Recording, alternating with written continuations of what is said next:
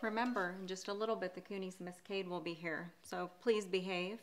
I always behave when other people are here. Well, I guess you do. Watch how you mix that. When is Dad gonna be here? He's been gone so much this week. Give him a break. I know he's been gone a lot more than usual. You know, he can't always help it. He's always working. Part of being an adult.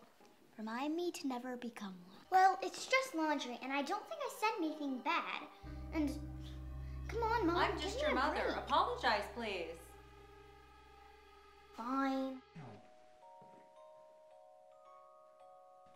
Haley. Okay. Becky, please. Becky, speak me, darling. No, not this, not this. No.